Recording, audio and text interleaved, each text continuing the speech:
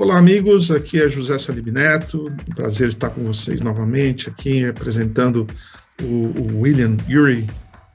How does that affect the negotiation? Uh, because a lot of people have to negotiate, uh, you know, not uh, in, in presence anymore, but digitally, you know.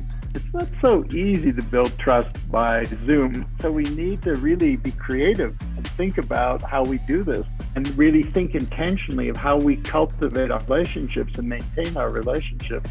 Because normally speaking, I, I used to, you know, advise people do not negotiate by email. Anything sensitive gets distorted, the context is not there, whatever. Pick up the phone, call the person. Yes, I do think that there's some advantages too. For one thing, we have more time, you know, because we're not commuting, but we need to take that time and invest it in building relationships.